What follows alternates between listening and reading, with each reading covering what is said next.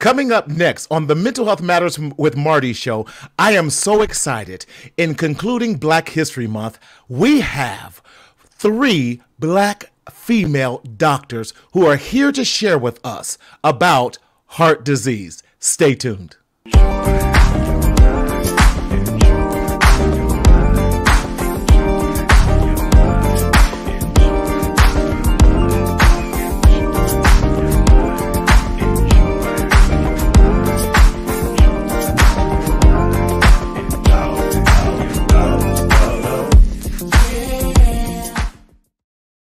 What's up, everybody? Hey, so glad you're here tonight for this special edition of Mental Health Matters with Marty. I'm going to tell you right now get on the phone, call everybody, type in those names because we have a show here for you tonight.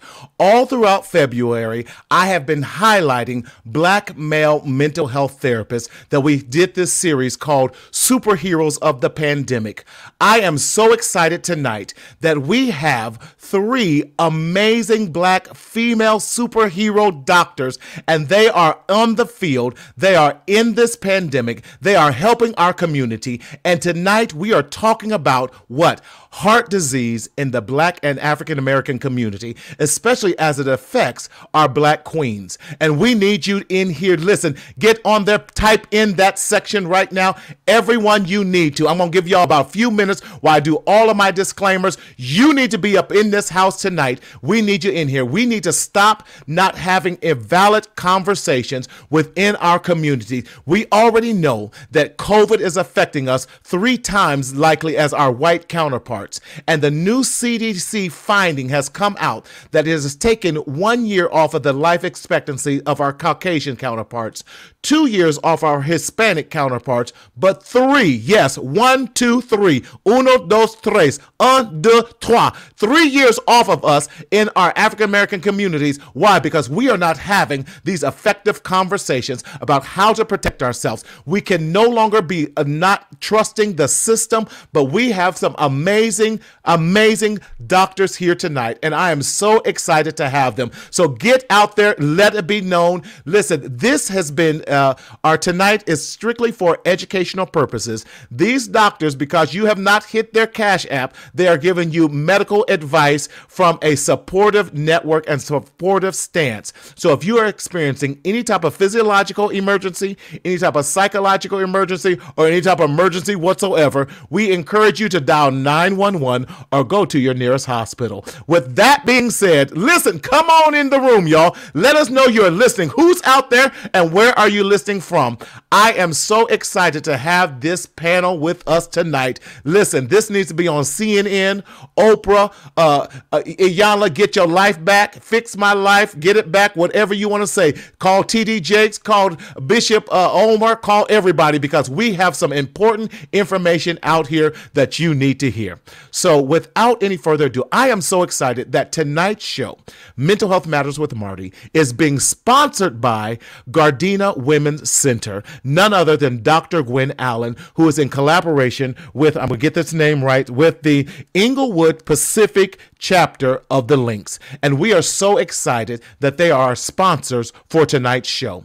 And if you need any type of medical advice, especially women's, because Dr. Uh, the Gardena Women's Center is specializing in black women's health care. So we need to be having these conversations. So without any further ado, I want to bring, not for the first time, back to the Mental Health Matters with Marty show. And she's definitely committed. We're going to be doing a series on physical and mental health in the black community. None other than UC Berkeley grad, my, my known her since she was 18, none other than Dr. Gwen Allen. Hey, Dr. Allen. I am well. How are you? I'm okay. It's, it's great to be back on your show again, and it's great to come out to give you some good news. I have yes excellent friends on board tonight. Yes, women who are well educated and well diverse in the health field, and we're yes. here to enlighten um, African American females about what's going on in the community. Yes, I would like to bring about um, attention to the community that we're in partnerships with the Links Incorporated. And yes. I have one of the Links on board. Her name is Lula Morehouse, and she will be speaking to us about what the Links is all about, why Yes. they came to partnership with us on this particular event, and why they feel that it's most important for us to do so. So, as everybody knows, I'm Dr. Gwen Allen. I'm the owner and the, um, I guess you could say, the CEO of Gardena That's right. here in Los Angeles, California. We've been um, taking part in women's care for over 20 years now. And That's so, right. Um, we have expertise in the field of women's health, of women's health care, Yes. um, hypertension, somewhat, pretty much so, because most of the time women who see us will only see the obstetrician at that particular time. So we Right. are the frontline run- runners. We are the primary care advisors to most women out there. Mm-hmm. I won't take up most of the time. But what I would like to, first of all, I would like to bring on is uh, Link Lula Morehouse because I'm a Link myself. Um, Okay. with the Inglewood Pacific chapter as well. And in collaboration with them, I want Lula to come on and tell people about what the links are, what we do, and why she feels this event is important. Lula, welcome to the Mental Health Matters with Marty show. We are so glad to have you tonight. How are you?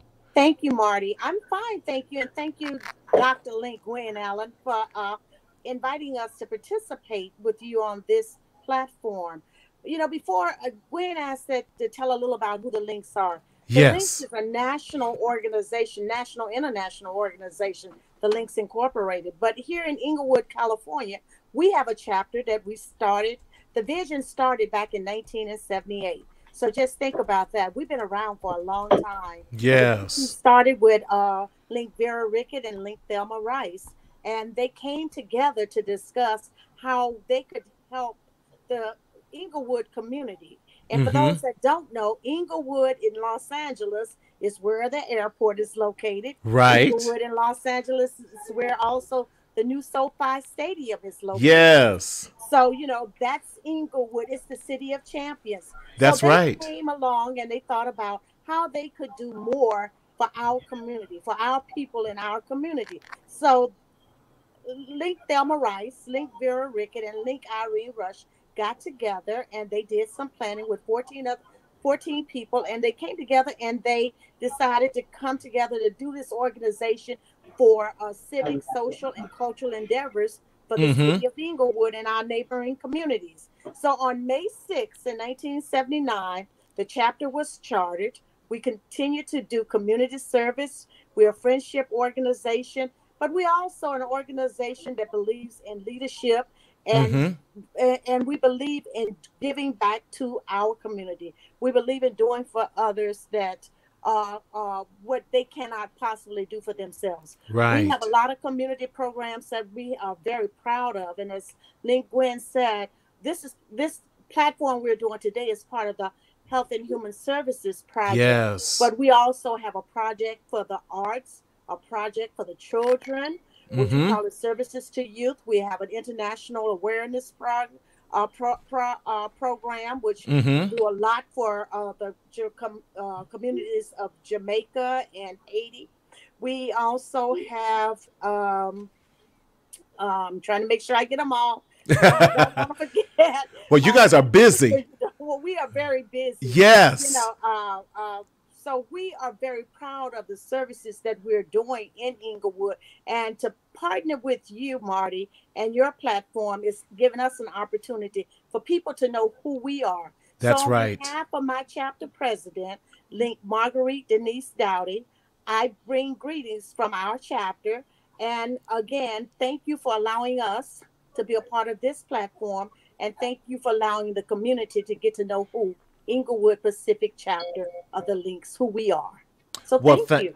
Thank you, because you know during this time, especially during this pandemic, we, if nothing else, has taught us to go back to the basics, go back to our communities for help, and we've had to find restitute, uh, uh, sanity. Can I say that uh, in our communities? And now that we know, for those who may not know about the links, thank you for sharing that about us, uh, about yourselves, and how they people can get involved. And I love this, Dr. Allen. Why is it so important that we connect with our community partners, especially in our uh, Black and Brown communities? And why is that so important that we use them to get information such as health and wellness out?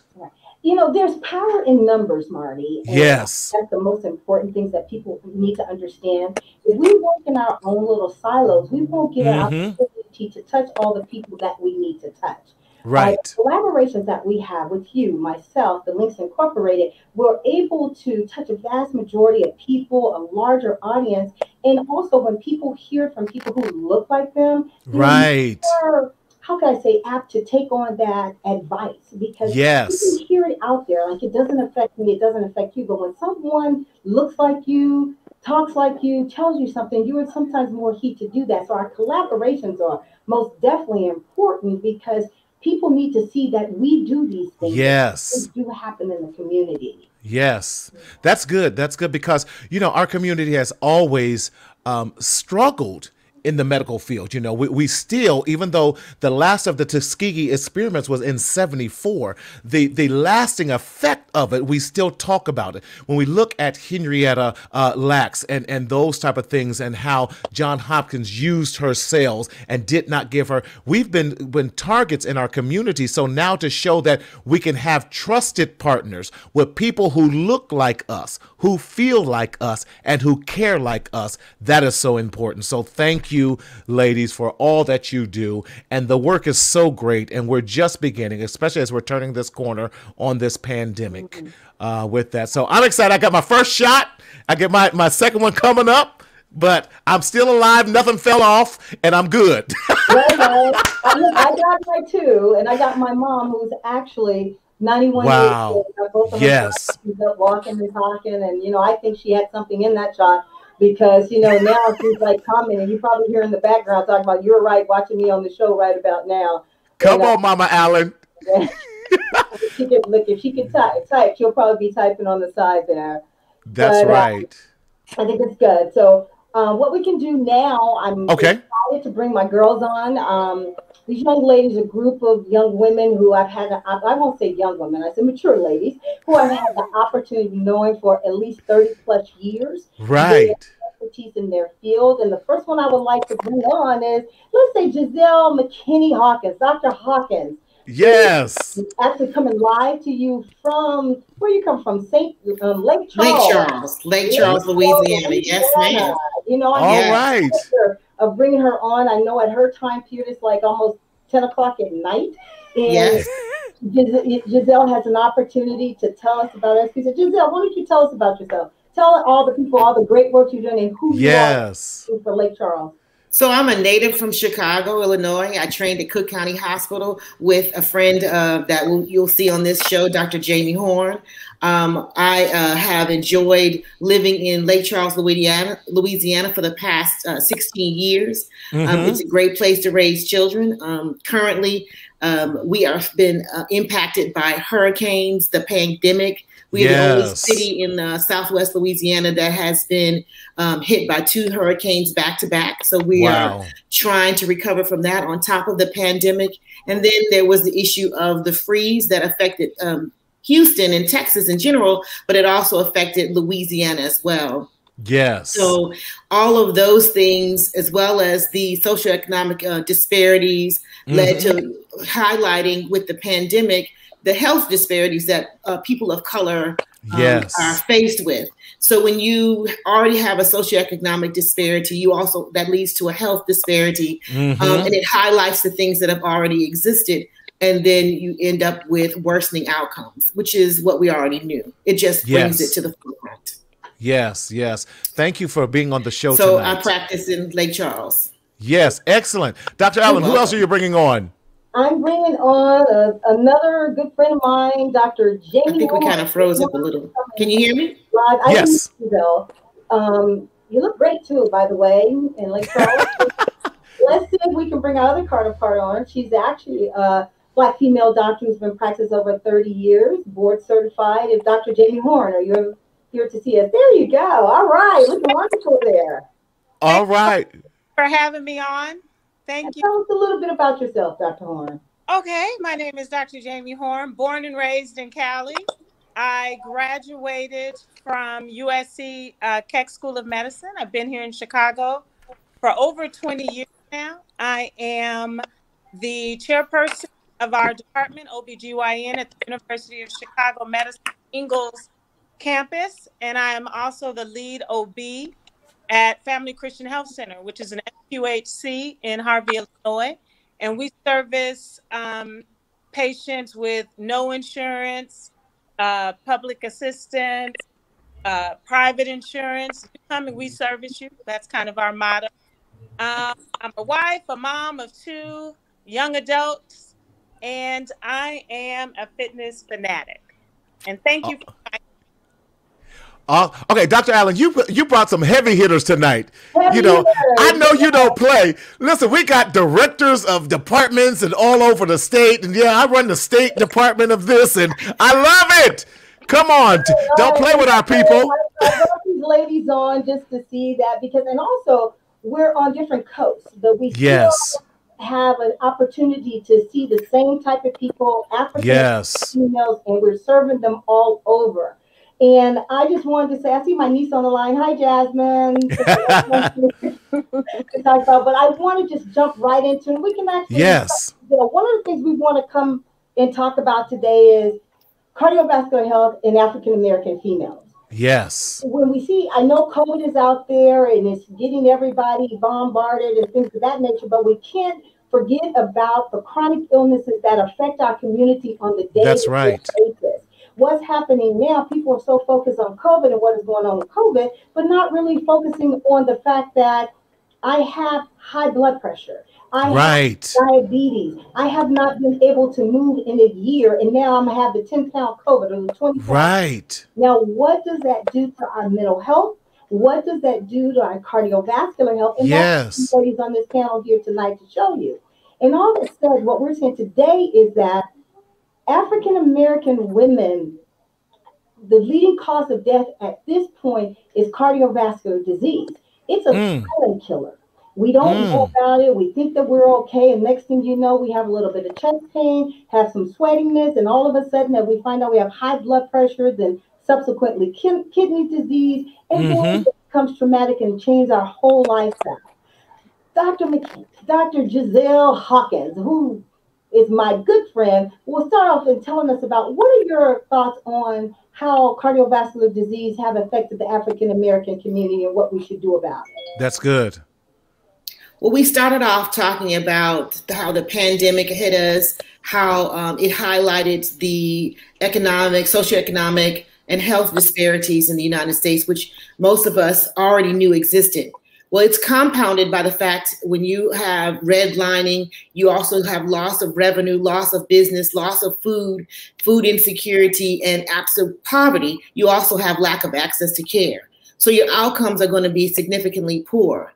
Black women or African American women are two times more likely to die of cardiovascular disease or have cardiovascular disease than their white counterparts.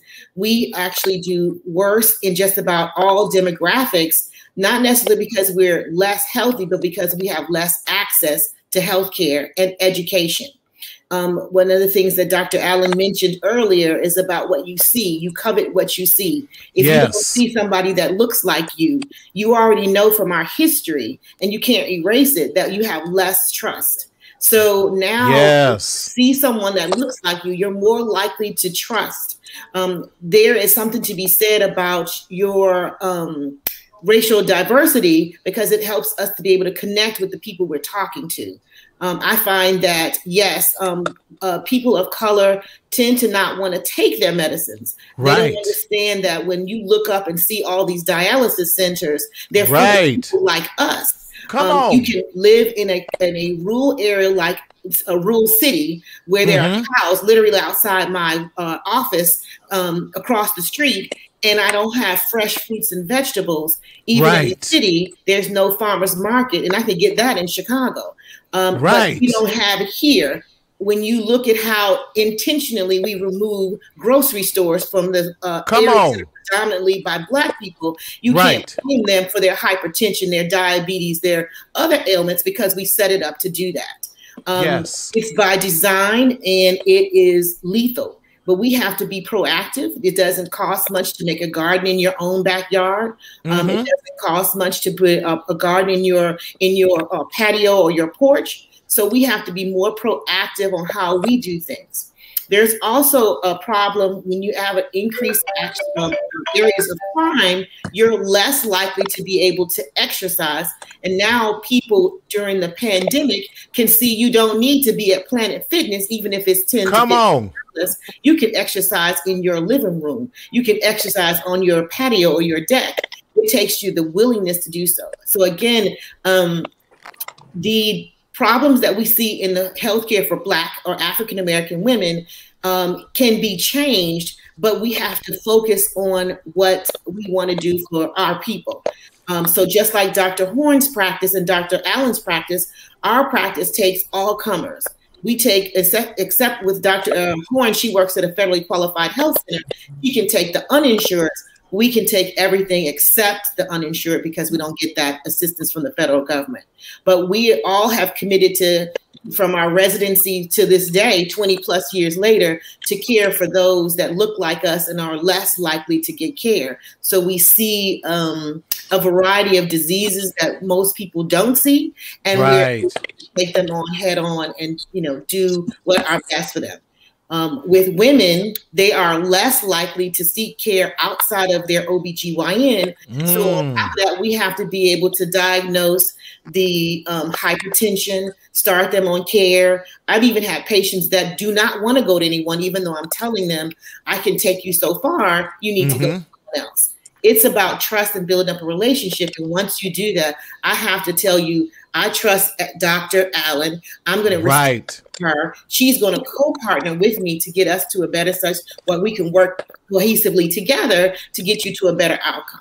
So that's what we do on a uh, on a daily basis. I love that because you you said a couple key things. I, I don't want us to miss the fact that Dr. Allen, you started off with saying that cardiovascular that that, that our cardiovascular and heart disease is the number one silent killer for black women. And that you said we have to learn to eat better.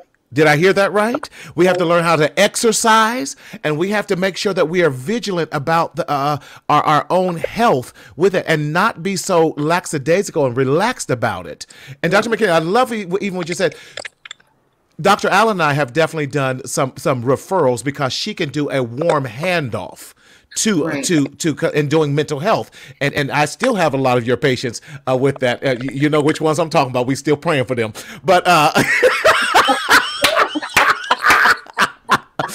but but you said something that was very key that that that having you being able to make that referral because they trust you you've built a relationship with Yes. them and when you say hey i'm referring you to dr allen or i'm referring you to dr horn they trust you because they have a relationship with you. And that is so important in our community with that. Go ahead dr allen. Now you have some more questions for us. The question, one of the things I want people to understand too, you have to know your risk factors. come on Some people don't understand. If you have a family disease, a family history of diabetes, hypertension, you're more likely at risk of getting hypertension. So therefore, you need to do the preventive things such as exercising, such Mhm. as smoking, stop smoking, stress, get rid of your stress, have something an outlet of things of that nature. If you're an alcohol drinker, you know, minimize what you drink, but you have to eliminate your risk factors because those are the things that cause you to have yes cardiovascular disease. But you also have to understand there are certain things that you cannot prevent.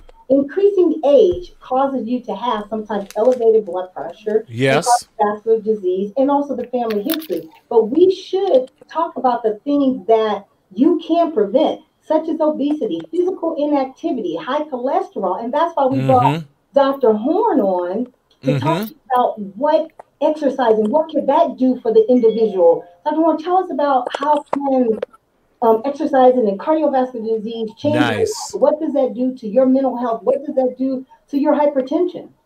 So exercise works wonders. And when I tell Mhm. patients to exercise, they think I'm saying go run a marathon. That's not what I'm saying. You right. as little as 30 minutes, three to four times a week, and that will help. You will gain the benefits of the exercise, meaning it'll help lower your blood pressure. It'll help increase your HDLs, which is your good cholesterol. It'll help with your mental health. It'll help prevent or stay slave off um, type 2 diabetes. Mm-hmm. And when I'm saying exercise, yes, going to the gym is nice, but everyone's not a gym rat. So that means Right. just lace up some tennis shoes and walk. There are tons of free apps on people's phones now. My Fitness Pal, things that'll help you track your runs. Other things you can do that I like to do, YouTube. YouTube has Mm. free videos about everything. Right. If you like to dance, you Yes. a name of a song and you can get the choreographed moves from a dance song. If you like to do step aerobics, they have free step classes. If you like to do HIIT class, which is high intensity interval training, they have Right. Classes online. There is something out there for everyone. And even if it didn't work out when you were younger, like I never really was an active person. I didn't become physically active until I hit about 42, 43. A friend of mine asked me to run a marathon with her and train with her. And after I did that, I got hooked. And so Mm. another thing I tell people, do it with friends. I only did it because Yes. client asked me. And it was fun. And it wasn't like we started out running. We'd walk a block, run a block, walk a block, run a block. And we were finally able to build up to run marathons. Girl, I'm still on that block. No, Yes, But- she's she's really talking telling the truth. She got me to do a half marathon, and you and she's the Oh, of that's person good. You can't, back, you can't back out when you put you give her. She will. No, ma'am. You cannot. You cannot back out. Don't let But- Wes- Giselle knows. I've showed up at her house in a snowstorm. We are going Uh-oh. to run. Yes. Oh, well, yes. bless, bless you, bless you. But, but, Doctor, you said something that was very key because too often we think that, well, I'm not running a marathon. Just walk around the block, walk up and down your steps. If if I heard you, Doctor Horn, correctly, you said, let's just get the heart flowing, get get the heart moving. D- Do don't just sit there and become a couch potato because you know I, I gotta get my summer body back because I'm tired of wearing this myrtle. Uh, uh, uh, It's not But here's the thing, Marty. sweaty. It's about what I tell patients get a little, you know, lift, get a little right. hot under the collar, but you don't have to be dripping in sweat to say you Yes. have to work out. Getting your heart rate up for 30 minutes is all you need to do. Yes. But You you want to can say also what? what think about this too. As we get older, if you don't use it, you lose it. You know, how many people can't touch their toes? How many Right. people can't sit and cross their legs? That's also Right. t- playing in the circulation too. If you don't use it, you will lose it. Yeah, that's so good. That is so good because you know, at, at fifty, uh, uh, a little and a little change, uh, my my mind gets up some days, but the body doesn't. Uh, so we got to keep it lubricated and everything else. That's good. Thank you for sharing that because that's so important because we can no longer just sit and do nothing. Today, I choose to show up, and what does that mean? I choose to be active. I choose to eat better. I choose to take my blood pressure medicine. Hello, uh, with that. Go ahead, Dr. Allen. I know you got some more questions. Talk to us. I would say most of the time, people don't want to take their high blood pressure medicine. And so that's, that's the most important thing that you need to do. Like we talked about earlier in one show, why men don't like doing that, because what happens with, and Giselle will touch upon that, most men don't like taking their high blood pressure medicine because it affects their libido. Women Yes. don't like to do it also because what happens is they start talking about they have to go to the bathroom a lot, we pee a lot, things of that Right. nature. So we have to make sure that we understand that cardiovascular disease and hypertension affect 47% of African American women. And if we don't do something about it, you think COVID is going to take us out. Hypertension Yes. is going to continue to take us out without us even knowing about it. And Giselle and I talked about earlier, and Giselle, you can talk on that. Talk to the people about when the doctor comes to them and say, "What's your good cholesterol? What's your bad cholesterol?" That's good. What we can do about it, Giselle. What you think about? what Talk to us. So when you're looking at your cholesterol level, you're looking for Mhm. your HDL, which is your high density lipoprotein. You need Mhm. that to be higher. Um, if you're lower, if your HDL is lower, it tells me that you're at increased risk for a heart attack or stroke.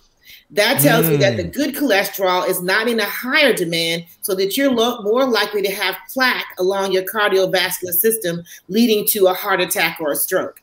Your mm-hmm. LDL or your um, uh, should be lower. So if you exercise, even if it's the 30 minutes that uh, Dr. Horn was talking about, you will see that your HDL will go up. You're mm-hmm. exercising your heart and you're pumping blood through your system. So that muscle, because your heart is a muscle, is mm-hmm. strengthened. Mm-hmm and the blood flow that gets your healthy cholesterol going through your system helps protect and coat your vessel so that you don't end up with a stroke. Um, yeah. Then we talked about how men don't want to take medicines because it's not necessarily it affects their libido; it causes impotence. So yes. if you're on a blood pressure medicine, you're more likely to have um, non-functioning of your uh, uh, of your um, I guess how graphic do you want me to say of your penis? It's not going right. to erect when you're um, in, engaged in intercourse. Right. Some of the blood pressure medicine. So it's a struggle because um, ACE inhibitors work better in African American population. Mm-hmm. Uh, things like amlodipine and hydrochlorothiazide work better in African American population, but it also may lead to some impotence in men. However, the ultimate impotence is a stroke.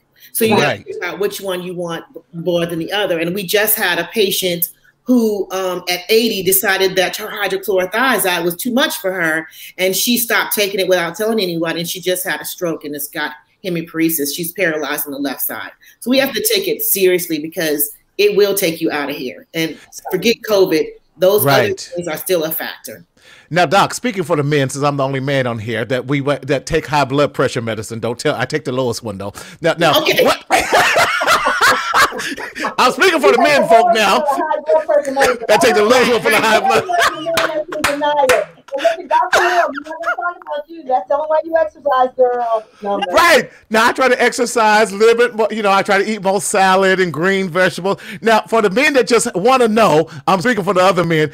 Isn't there something they could do to help their libido out? Uh, because you know a lot of men let's be honest a lot of men they they value who they are based upon their sex life and and what they what they think might be left over you know.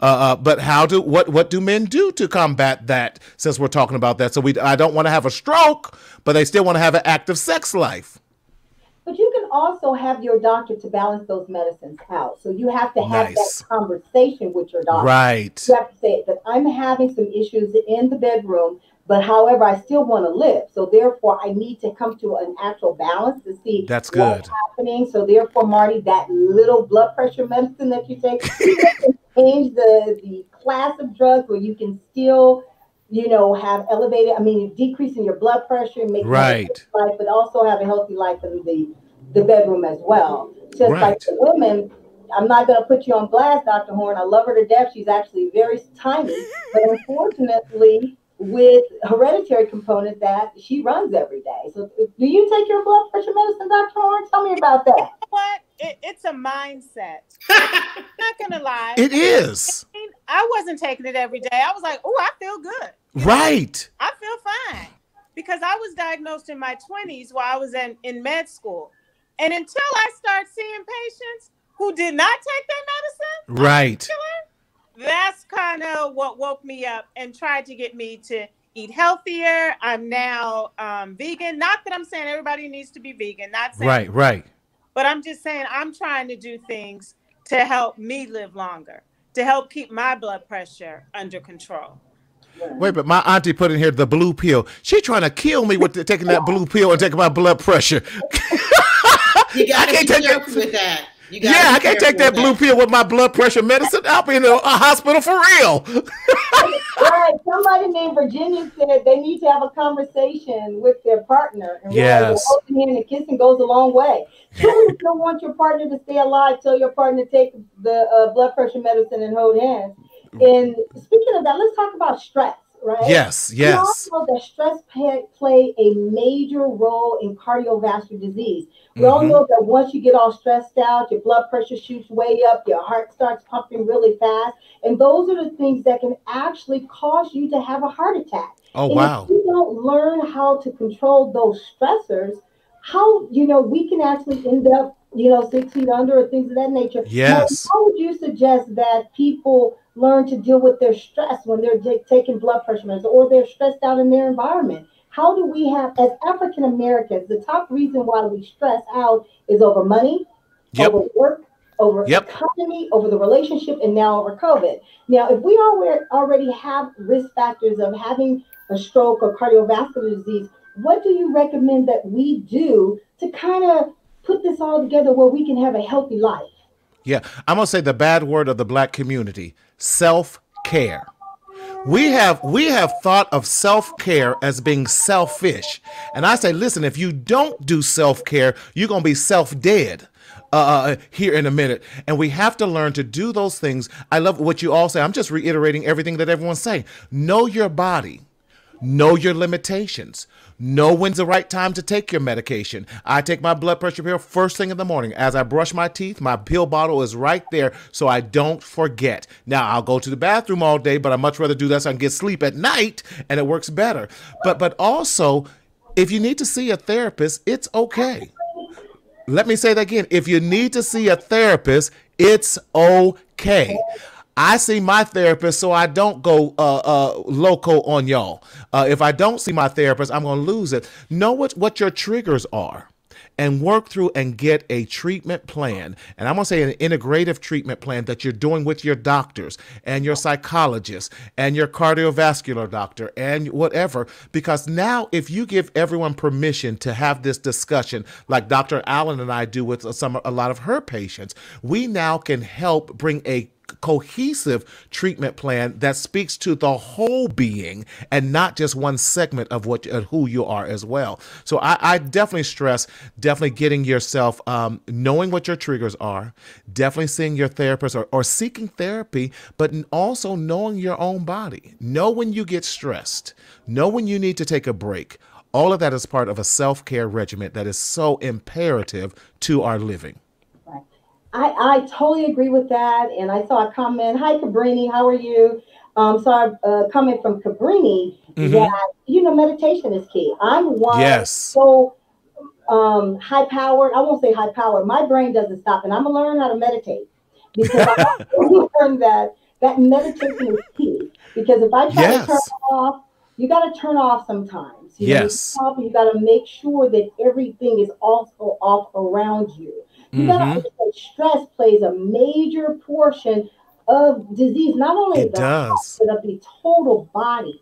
We have to make sure our mind and our body are working together as one and not a dichotomy. So Yes. our goal is to make sure that we bring those two together and that that mind and that body work together as one. Because if you start flipping out, and even though you're taking your medication, you you still stressed out and you don't have that outlet, you can have a heart attack. And Yes. also, if you don't incorporate your diet, if you're still saying, I'm gonna work out, Dr. Horn, I'm gonna work out and I'm not gonna sweat, but I'm gonna eat some McDonald's French fries that stayed under my thing that, you know, forever, you're eating wrong, you're still stressed out, and you're Yes. putting everything together. At some point, something has to give. And most time it airs on the side of the body and not necessarily the mind. Yeah. So when you're exercising, Dr. Horn, and when you're doing those type of things, what are you, is your mind clear? Are you telling the patients and things like that? What what do you tell me? If I come to you and say, Doc, I work out every day, I'm not losing weight, my blood pressure is not going down. What is your advice to people? Mm, that's good. First, my advice is are you doing what you love and what you enjoy doing? Don't Mhm. run because I run. Like, Right. doesn't love running. But if you like to spin, if you like to walk, and there's no pressure. You know, when I run, I'm not trying to run a race. I know I'm not getting a medal. I am just out there trying to enjoy myself and relax. And Yes. patients do things that they enjoy, you get caught up in it.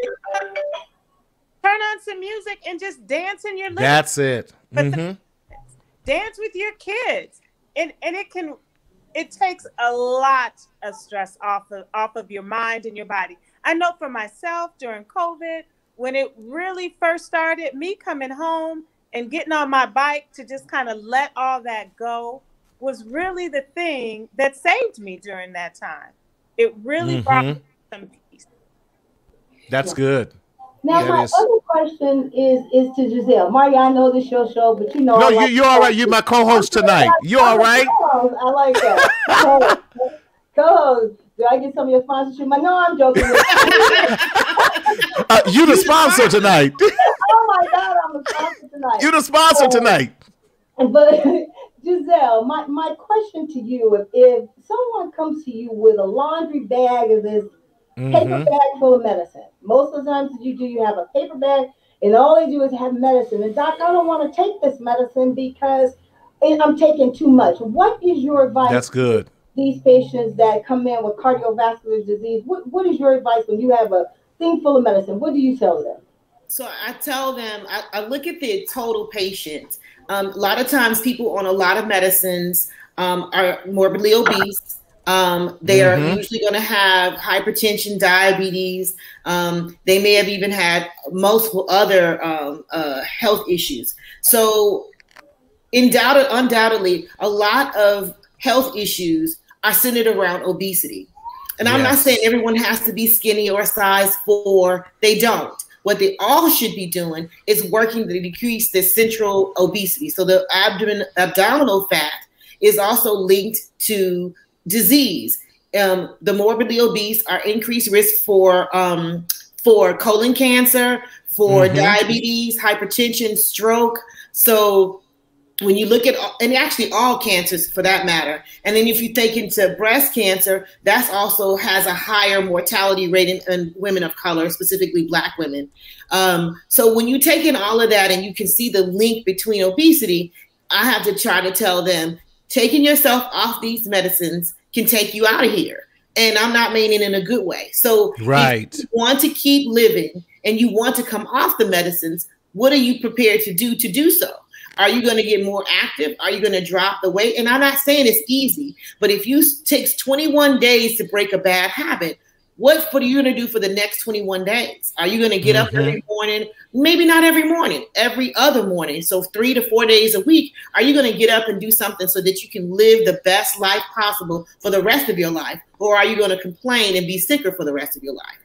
And uh, from personal experience, Jamie will tell you and Gwen that I am sometimes stop and start my exercise. I let life and stressors get in my way. And when I get back to exercising, I find that I feel so much better.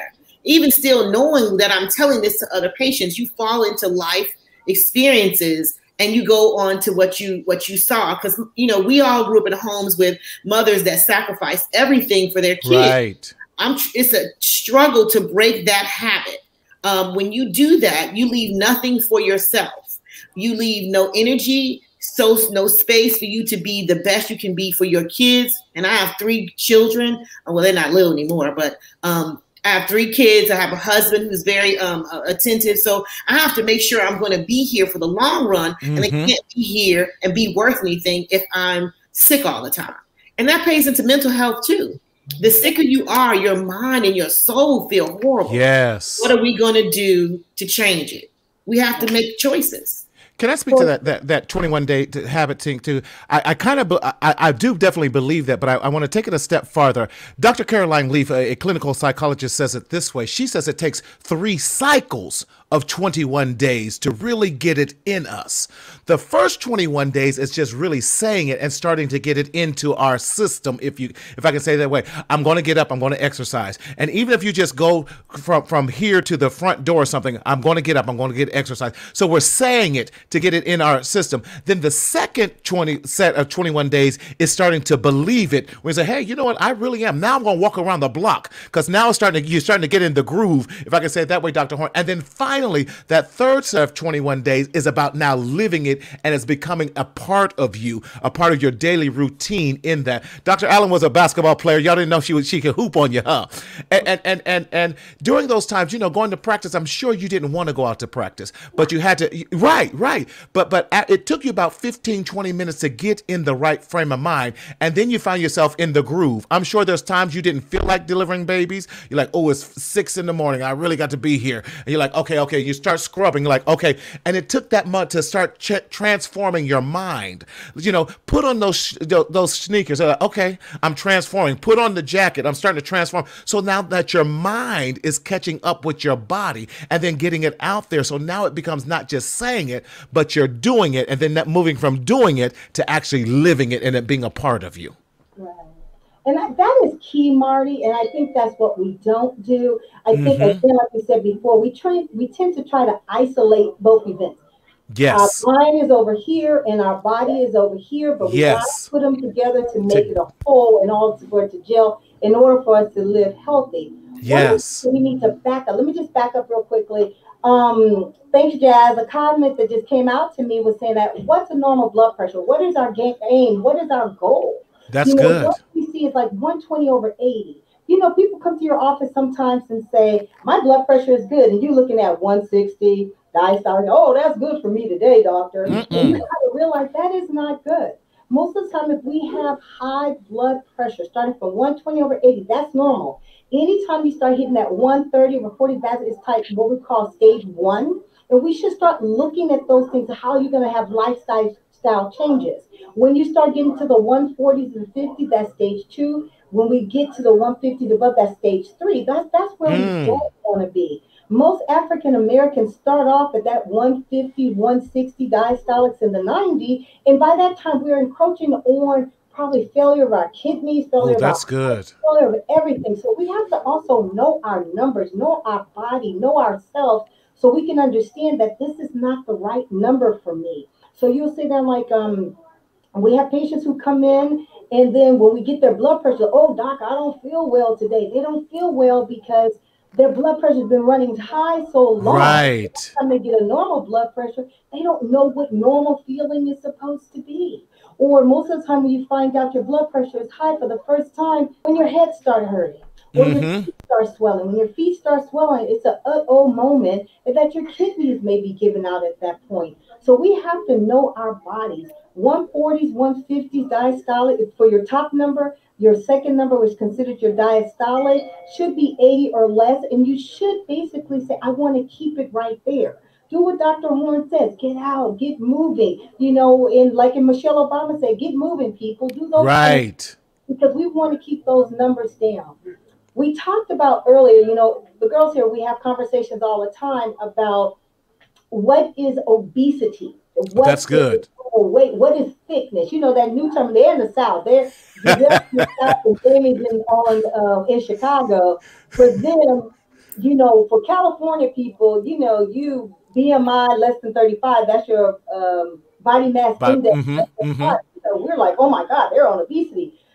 Dr. Horn and I was talking about the other day. They kept this something called thick. I don't, I don't understand that thickness. You know, people are like, oh, I'm thick. You're fat. No, let me tell you, that's that's not fat shaming. Just That's none of that. Shapely. Shapely. Shapely. Because but also, Dr. Horn, am I correct? That thickness can lead to cardiovascular disease. Yes. I mean, like Brazil said, you know, when you have a larger stomach, you have the larger hips. You know, even though they're saying that people like that, we got to figure out what's healthy. Sometimes you're going to say that I'm big, but are you really healthy? J- Dr. Moore, comment on being big and healthy. Is that is that two things that go together? Mm. You know, you know what? Like Giselle had said earlier, you don't need to be a size four to be healthy. Right. You can be a size 12 and be healthy and physically fit. When when I was out there running marathons, you'd see people of all sizes. That's good. But you cannot tell me at when you're morbidly obese that you're fit. If you are having difficulty walking up a flight of stairs, if you are having difficulty walking a block, you need to just kind of reevaluate where you are. And Yeah. I, and just walking and, and no one and I tell my patients, I'm not saying, you know, I want you to lose 100 pounds. I'm not saying that at all. What I'm saying is, I need you to get as close to your be a healthy BMI as you can. Yes.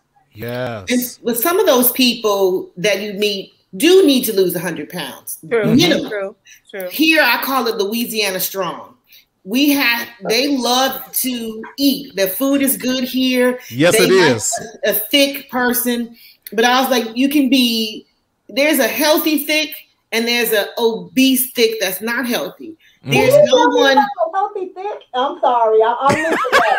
I'm up in Okay, California. I, I, I'll try to compensate. You know that meet the people where they are. Right, So I'm right. trying to meet Right, them where they are. I can't tell them that they're morbidly obese and actually expect them to absorb what I'm saying. I'm saying you can't be 330 and healthy. Uh, You just cannot be. Um, you are well above, not in five foot three. You cannot be that big and be healthy, but you can make a change and drop down to 200 and be healthier. That's what I mean by healthy thick. You're no longer 330, you're 230. And yes, I would love for you to get down to more like 150, but that's not realistic if you were Mhm. 12 and you were 200 pounds. So I have to meet the patient where she is and make sure that I can get her at least halfway and she has a better life expectancy than she does at 330 with hypertension and diabetes at 21. There's a question on here that says, What is a healthy BMI? So, what is a healthy BMI? 20 to um, 25 is considered normal. Anything 25 to 30 is considered overweight, and 30 and up, de- deadly. It's Okay. called obesity one. Then you get up to obesity two, and then obesity three. Uh, when your BMI is over 40, and I've seen patients with BMIs of 75. Um, Lord help you us. are well, well into a category that um, is super unhealthy. The Right, way now we have to use a bariatric table. Yeah, people people are in here now talking about now I'm five two. What's a BMI? I'm five seven. So now everyone's panicking over so- their BMI. And th- th- let me stop by saying, it, uh, Dr. Horn will tell you too. A BM, the BMI scale is wrong. Right. It's, it's what we use um, because that's the tool we have currently. But the thing is majorly jacked up. Um, but it's what we have, and I've seen people who on the scale have a BMI of 35 and they are healthy, but it's the Mhm. only two we have. So you have to adjust it. So it's it's not the best. It needs to be redone, actually.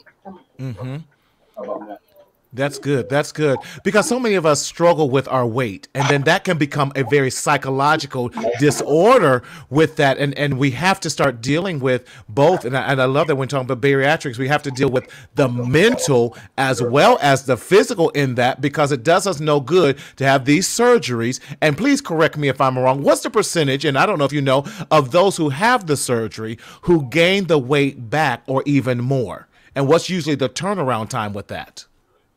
Well, I think um, when people have now, there's different levels of bariatric surgery. Sure. People who get the sleeve have about they lose about 20% of their body weight. So Okay. if you were weighing 220, you might lose about 40 pounds Okay. over a five year period. If you don't keep that off, you tend to gain all of that back within a five year period.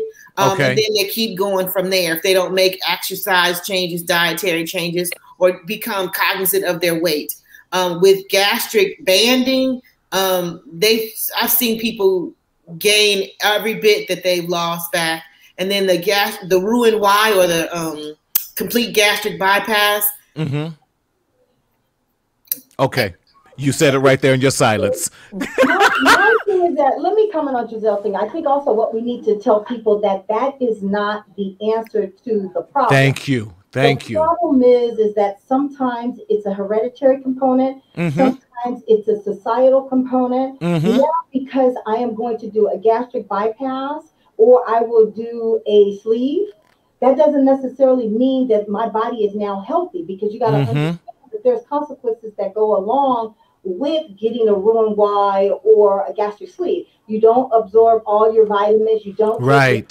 Your hair falls out. Right. I think smaller portions of an increment, a balanced diet with your starches, your vegetables, and your protein will kind of help you out. We as African American needs to change our whole mindset on how we eat. That's it. Don't get me wrong, I can eat a, a pig from the rooter to the tutor. How I love Everybody knows me, especially if Jordan is listening, she know I go. I can't do without some bacon. But everything in moderation is, is okay. We tend to Right. things. I went to a friend of mine's house the other day who has a kidney disease. Her plate is probably a, a six ounce plate. I mean, a six ounce square. And I'm Right. like, and I'm looking like, whoa, you know, but she healthy. She's eating her diseases process is turned around. However, I'm like, I'm still hungry. I'm still hungry because I'm used to eating on a big 12 ounce plate and that has everything in it piled high. So we need to change.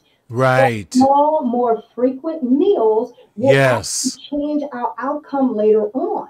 So then, therefore, like what Dr. Horn was saying in the beginning, you're exercising, you're doing all this, but if you've eaten everything after that, you're you're not going to lose any weight, and we're going to actually be discouraged. So we have to have a whole complete change of our lifestyle. This is have to be a lifestyle commitment and a lifestyle That's good. change in order for us to even have something. As advocates in our community, like the Links and the AKAs and the Deltas, we need to now advocate for someone to have better supermarkets in our communities. Because if we're going to fight obesity, if we're going to fight diabetes, if we're going to fight cardiovascular disease, we have to have some community changes. So forums like this, I'm on my soapbox. Sorry, Mari You're all right. forums like this should get out there so we can say, in order for us to close the healthcare gap, to close these disparities, we need to make changes in our community and we need to make changes on the social level. Because how many times Yes. we live in a people live in Ladera, you know, we're Inglewood Pacific Chapter of Links. We live in Ladera. We do not have a supermarket, quality supermarket Mm. for another 15 miles, you got to go to Culver City. So, in order for us to change and change how we look, what we look like, I'm like Dr. Horn said, I'm not trying to be 110 pounds. I'm just trying to be healthy and live life. Right. And so, we need to, uh, it has to be a social change, it has to be a mental change, and all of this has to be together on one platform. Wow, this has been so great. We got to have a part two come out, but there's one more question I want to hit before we take off. The, by Paula Williams, and she asked, I think this is a very good question. She says, "Are there any tests that African American women should ask for at their annual physicals that our primary physicians may not automatically offer us?" That's a great question. That's a great question. she that's she has to be a little bit more specific. If she has like if she has hypertension, she can ask for a BNP. It's it's a, it tests Okay. for renal function. Um, Okay. If she has diabetes in her family history, she can ask for a hemoglobin A1C to check Okay. her um, uh, glucose levels, Okay. or she can ask for a one-hour glucose. I mean, it depends on what she's looking for. And then some people who have a bad family history can ask for genetic testing. Insurance is covering that now Oh, oh, say that one more time. Genetic testing. Um, so you can request genetic testing. I mean, okay, so if you have a family history of cancer, like in my family, I've lost both my parents to cancer, different kinds, Mm, but both mhm. my parents died of cancer. So I have two first degree relatives that died of a cancer, not to mention my grandmother on my father's side. So that makes me more at risk um, for um, cancers. So I Right. need to have a genetic testing. If you had a grandmother or, or aunt or mother that died of breast or ovarian cancer, you would benefit from genetic testing to make sure you don't have any hereditary links for that. Mm-hmm. But we also have to start thinking about how we speak of ourselves. If we Mm. call ourselves, I feel fat today.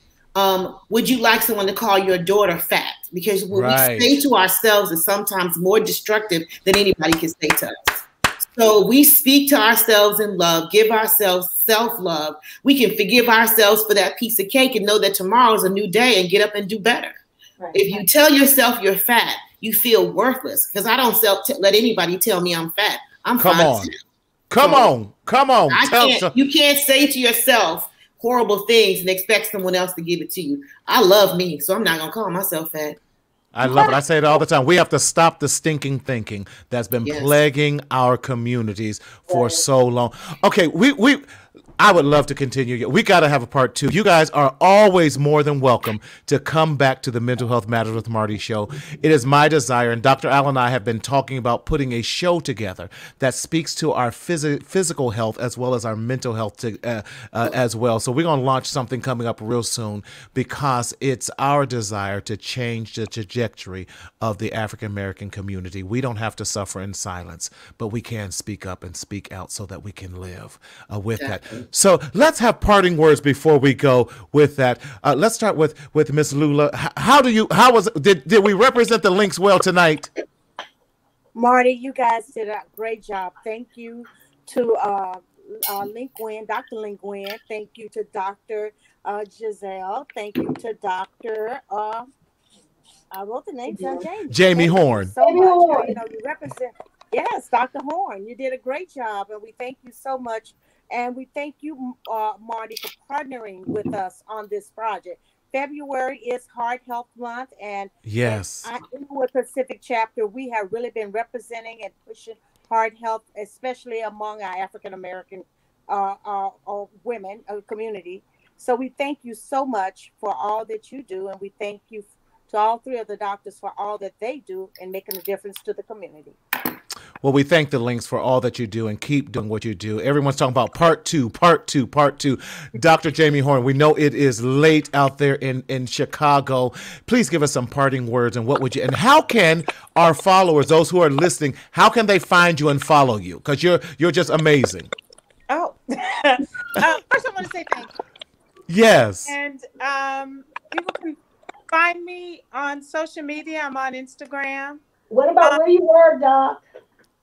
What'd you say, Gwen? It equals that make appointments, oh. right? Oh, yes. Oh. How can we see you? Make you our doctor. If you're in the Chicagoland area, you can find me at Family Christian Health Center. We have a website and you can make appointments on the website.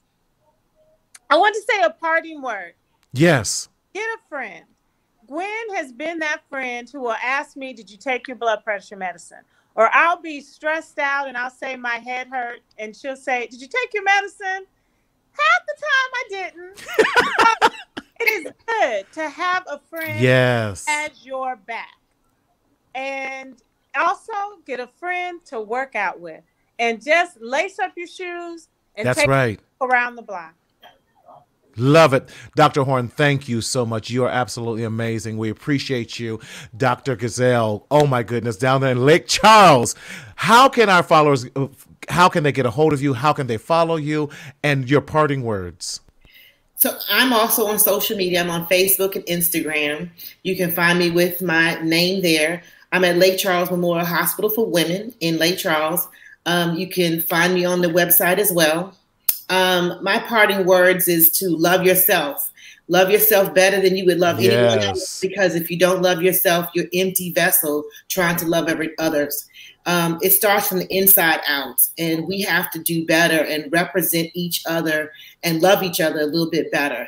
Um, people's tolerance to each other has been decimated because people have this social media mindset that you would say Mhm. stuff to people that you would never say to their face. Right. So you have a little bit of cruelty out there, a little bit of intolerance, and um, no one ever say the things that they say on social media to your face.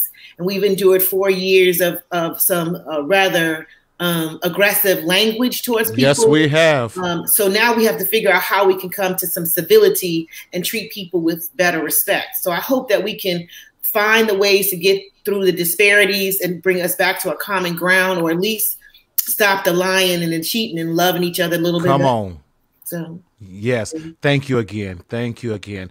Dr. Allen, you know I have nothing but love for you. How can we get a hold and how can we set appointment at the Gardena Women's Center? First Yes. Of all, I say thank you again for having us on your show. I just want to say thanks to the links. One, for allowing me to be a part of this illustrious organization. Um, number two, um, you guys can find me at Gardena Women's Center. Giselle, as well as Dr. I'm sorry. We are friends. That's why we keep calling you friends to each other. but, uh, you know, Dr. Hawkins, as well as Dr. Horn, we all specialize in women's care, women first, um, because we understand the importance of cardiovascular health as well Yes. as um, HRT, which is hormone replacement therapy. That also Mm. plays a major role in cardiovascular health. We didn't get a chance to touch upon that tonight. Right. However, once you get your hormones in order, that get your mind in order, that get your cardiovascular system in order, all those things work together. My thing to you, again, I just want to back up a little bit. Make sure you talk to your doctors. Make sure Yes. the doctors understand. Make sure they understand that the needs that you have. Let them hear you. Make sure they know that your mother had cardiovascular disease, your di- your father had diabetes, that to get testing on all those things. Definitely. Take control of your health. Take, take control of your life. You only get one and you get one shot at it. If you can't pass by the mirror and look at yourself sideways, Therefore, you need to do some adjustment, you need to do some introspection, and you need to say, I need to take control of me. So when you can look at yourself from top to bottom and say, I am happy with me, the way inter- internally and outside, that that will make you a happier person. So Marty, again, thank you, thank you for being my sounding board. Thank you always all of us to be a part of your show, and I'm so happy to be a part and continue to do what you're doing. Thank you. See, Thank you, Marty. It is my pleasure. Carlinda said this was a wake up call. For so many, this was an amazing wake up call. And again, as we always close and say, listen, thank you so much for joining us on the Mental Health Matters with Marty show. Please, you can follow me on all social media platforms uh, with Mental Health Matters with Marty on Instagram. Please check out my website at mentalhealthmarty.com. And there you can find all of your mental health uh, paraphernalia, t shirts, everything that will help you along this mental health journey journey. And also for you podcast listeners, or if you're not listening to a podcast, please check out my podcast on Mental Health Matters with Marty. And, and please subscribe. For those of you who are Apple listeners, please give us a five star rating and a review. Or become an iMatter member of Mental Health Matters with Marty by texting iMatter to 855 717 1272. Again, that's 855 717 1272 to get all of your latest information on your mental health and wellness. As we say each week, we don't want you to continue to suffer in silence in the shadow of shame, but we want you to speak up, speak out, and live. But always remember to enjoy your life. Until next time.